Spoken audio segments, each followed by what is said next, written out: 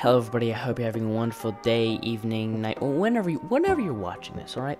My name is Wunda, and today I'll be showing you how to track any kind of object in Premiere Pro. Now, if you don't know what tracking is, it's a pretty, pretty useful skill that you can have in practically any kind of editing. It just allows you to, you know, align with certain objects that are moving, or have text tracking with it, just staying with it so you can label something. It just generally makes the video look a lot better, because you can keep the focus on whatever you want, or label whatever kind of thing you want, as it's moving away, as it's moving out of focus. It looks excellent on everything. It's pretty easy. It takes a little bit of time, but overall, it's just an excellent skill to have. And uh, yeah, that's pretty much it for tracking. Let's just jump in how to actually do it. Now, the first thing you've got to do is you got to find which part of the video you actually want to track. So let's just look at what clip I have today. It's actually from a CSGO video that I was going to post before, but I thought I wasn't funny enough. So uh, yeah, this is one of the end scenes that I was going to actually track the cursor. So let me just show you what it looks like before. You know what? I'm done with CSGO. I'm done. I'm done. Boop, boop. It's deleted. Never happened. I'm never playing CSGO again. Goodbye. As you can see, grade A comedy for me. I'm a hilarious guy. Don't have to tell me. Actually, do tell me. My self-esteem could use it. So, uh, what we're actually going to be tracking today is the cursor, because if you haven't seen this a lot, it's in all types of gaming videos. A lot of people, when they get angry or something, they just track the cursor as it's moving over the icon or whatever it is, and they're deleting it. So that's what we're gonna do today. It's pretty simple. It's a pretty simple thing that we're gonna be trying to do, but you can apply it to anything. You can apply it to text. You can apply it to any kind of object that's moving. It has all the same steps. So first things first, you're gonna have to find you're gonna have to find the point where you want to begin tracking and where you're gonna want to end tracking. So let's see where that is gonna be for us. You know what? I'm done with CSGO. I'm done. So I think the beginning should be here when it just starts moving. CSGO. I'm done. I'm done boop, boop. I think the end should be when it's actually, you know, deleted and practically the movement is done. Now once you have your little portion that you want to edit and you want to track, just click on it so you can see all the effect controls of it. And uh, this is where the actual fun stuff happens. Not really fun, but uh, you know, where the actual magic happens. So first things first, you're gonna want to click toggle animation for scale and position. You don't essentially have to do it for scale in all situations, but we're to do it anyway just so you can see how the scale zooms in and zooms out. It's not just a static, it just zooms in instantly and zooms out. So what we're to do is we're also to toggle uh, position for position because obviously we're want to track the screen as it's moving.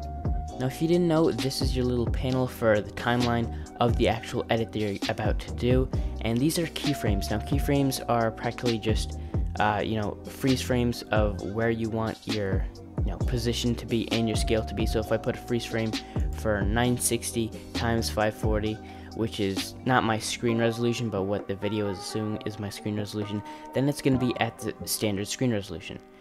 If I move it over a little bit, then I can also set a keyframe for that by uh, moving a little bit left.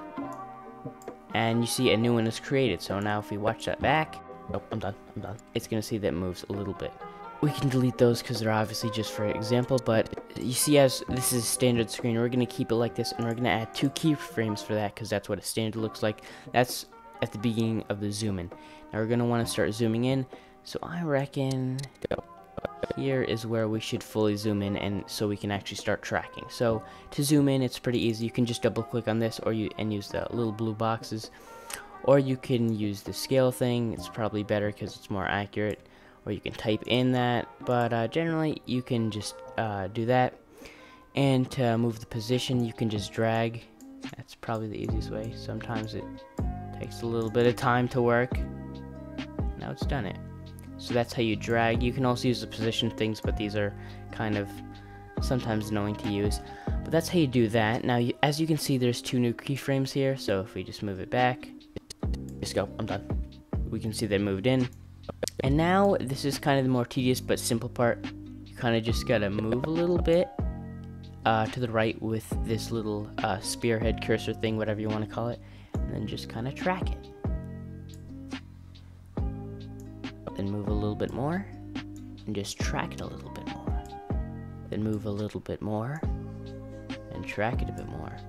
Until you have tracked it too. Wait, little side note. sometimes when your cursor or your object is a little bit closer to the edge of the screen, it's going to have this little bit of a black void where your video actually isn't. A lot of times I like to just keep it as the wall, like it doesn't move past there, because a lot of times I just don't like the look of the black outside in the video. It kind of makes it look a little bit, uh, I don't know how to say it. Stupid? No, stupid's not the word. I'm, I'm stupid for saying that. I just don't like the void of my video to be in my video. But uh, for this example, we're actually just going to keep it in just because it's easier to show off. And yeah, it's just easier to animate instead of just having it as the wall. But I personally highly recommend that you actually don't have this black void in your video. If it's close to the wall, just keep it at the edge. But, you know, who am I to tell? I have 13 subscribers.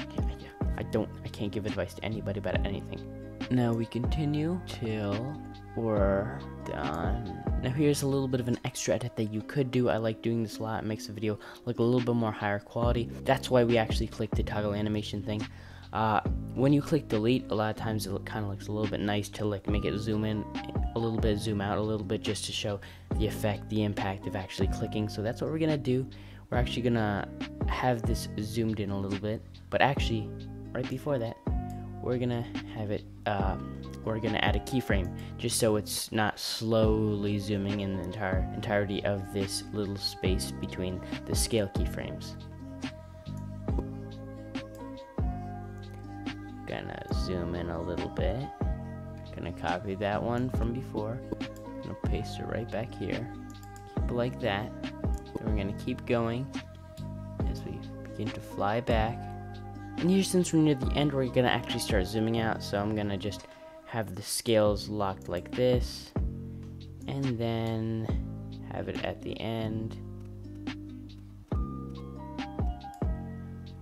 And uh, click these to reset it to the original parameters. So that's what this is. So we just sent it back. And uh, let's see how it looks. Pro Premiere Pro tip, what? Pro Premiere Pro tip, you can actually just render any little part of your video that might be a little bit laggy because the extra editing by clicking I at the beginning of it and O. It actually renders it, so it might take a little bit of a while, especially if it's a, you know a heavier edit. So that's why you got to do it to smaller pieces. So that's what I'm gonna do, just so you can see it in its full quality. This is actually a 60 FPS video, so it should be pretty smooth to see. So let's just see how it looks. I'm done. You know what? I'm done with CSGO. I'm done. I'm done. Boop, boop. It's deleted. Never happened. I'm never playing CSGO again. Goodbye. Now, as you can see, my comedic genius is accentuated by that incredible edit that we just did. Now, this is pretty simple. It's not an incredible edit, guys, but what you can do with this skill is incredible. You can make any kind of video look incredible. You can make anything just look more, a lot more interesting. You know, if you don't know Soviet Womble, he's one of the more popular gaming YouTubers. He uses this a lot. He uses a lot of tracking in Premiere Pro, and it just looks excellent. You can do it in any kind of situation.